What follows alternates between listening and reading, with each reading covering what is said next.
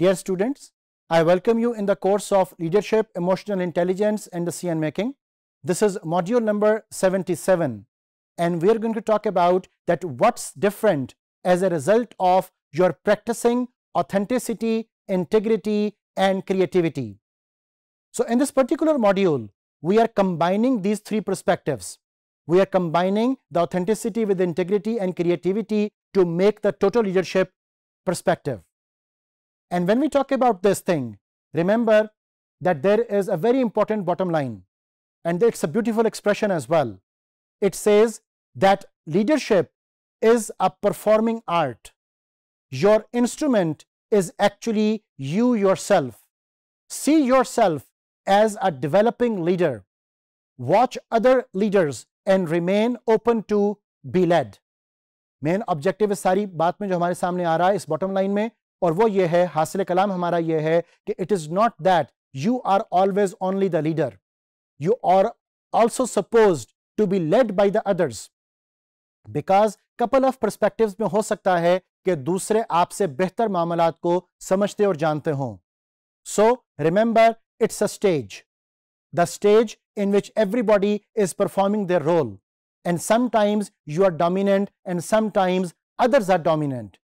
So हम ये dominance क्यों डिस्कस कर रहे हैं? For mutual gain and for mutual benefit therefore when we talk about authenticity remember feeling more purposeful genuine and grounded is actually our objective and in that concern people only change जब उनको clear preferences वो मिल रही हों। जब तक उनके पास clear preferences नहीं होंगी, उनके पास एक पूरा रोड मैप नहीं होगा, उनको विजन की क्लैरिटी नहीं होगी they would not be ready to change because वो हमेशा ये सोचते हैं कि what's in it for them secondly being a leader it involve other people it's not just your game you have to make others win as well The third thing is that you have to be a role model.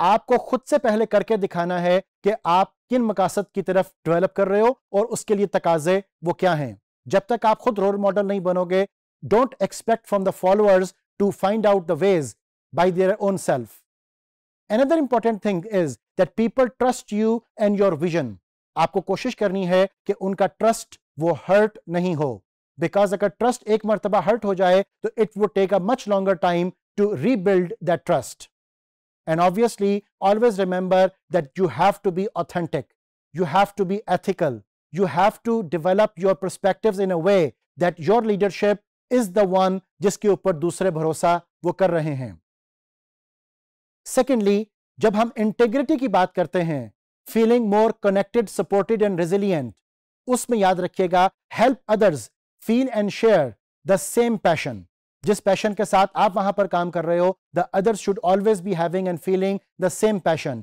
और वो तभी मिल पाएगा जब आप उनके साथ share करोगे। The second thing is keeping in mind that condition and constants always are there किसी की ज़िंदगी आइडियल नहीं है, किसी की ज़िंदगी बेड ऑफ़ रोजेस नहीं है। So you have to remember कि कंडीशंस एंड कंस्टेंट्स हर जगह पर होंगे, हर मामले पर होंगे। और आपको लीडर इसीलिए तस्वुर किया जा रहा है कि आप उन कंडीशन एंड कंस्टेंट्स को ओवरकम वो कर सको। The third thing is never feel resentful by push and pull of others so दूसरों की रेजिस्टेंस ऑब्वियस है। उनके डिफेंसिव मैकेनिज्म्स वो ऑब्वियस हैं। आपको ये कोशिश करनी है कि आप उनके रेजिस्टेंसेस को ना के सिर्फ़ समझ सकें, बल्कि ओवरकम भी वो कर सकें। Then maintain integrity in all domains of your life एक के ट्रेड ऑफ़ को दूसरे के ट्रेड ऑफ़ के साथ एसोसिएट ना करें। आप एक डोमेन के ऊपर कंप्रोमाइज करके दूसरे को सपोर्ट करने की कोशिश ना करें। बिकॉज़ उससे आपका सारा बैलेंस वो खराब हो जाएगा और आप टोटल लीडरशिप के परस्पेक्टिव को डेवलप नहीं कर पाओगे। Therefore make time fruitful and purposeful अपने होने को, अपने लम्हे मौजूद को, अपनी एग्जिस्टेंस को वो इंपॉर्टेंट बनाएँ। ताकि आपका जो पर्पसफुल आउटकम है वो अचीव हो सके। आप फ्रूटफुल कंट्रीब्यूशन वो दे सको। When we talk about creativity, feeling more curious, engaged, and optimistic, remember that you have to experience new things. आपको क्रिएटिविटी और इनोवेशन के साथ आना है। आपको जिद्दत पसंदी मॉडर्नाइजेशन अपग्रेडेशन इन तमाम चीज़ों को सोचना है कि आप बेहतर से बेहतर कैसे अपने हसूल की तरफ़ वो जा सकते हो। Then always be open to discovery new ways of doing things finding new avenues finding out कि किसी काम को मजीद बेहतर करने के और नए तकाजे और पैमाने वो क्या हो सकते हैं Another thing is when you have to be creative, find new ways to engage people.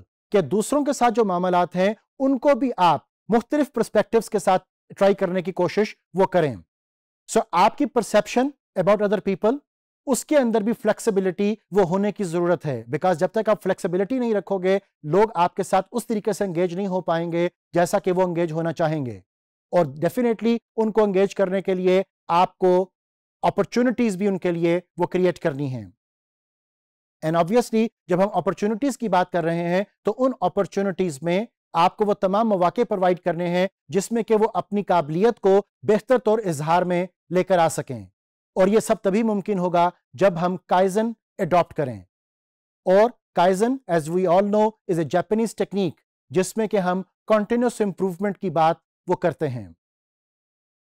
अगर हम इस सारी बात को कंक्लूड करें तो डियर स्टूडेंट्स याद रखिएगा कि ये सारा प्रोसेस एक कॉन्टिन्यूस रिपेयर की तरह है, एक कॉन्टिन्यूस इंप्रूवमेंट की तरह है, जिसमें कि हमें अपनी डोमेन्स का ख्याल रखना है हमें अपनी ज़ात का ख्याल रखना है और हमें इस बात की कोशिश करनी है कि हम तरजीहात की बुनियाद पर अपने तमाम डोमेन्स के अंदर अटेंशन, इंटरेस्ट, टाइम, फोकस ये दे सकें।